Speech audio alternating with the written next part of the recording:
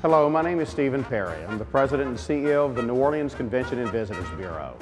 It's nearly March 2010 and everyone in the city of New Orleans is so excited to welcome back our favorite group, the American Academy of Orthopedic Surgeons.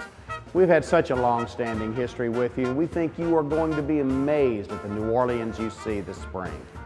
It's extraordinary. More than 250 new restaurants have opened since you've been here last. More than that, all of the famous ones are all back and the chefs are creating amazing new dishes. This city looks more remarkable than it's ever looked. With its nightlife, the ability to walk from your hotel to a restaurant in less than 60 seconds, and the ability especially to come here, meet your peers, and go through some amazing educational content with the program this year. We can't wait to see you in New Orleans this spring. It'll be great to welcome you to the Crescent City once again.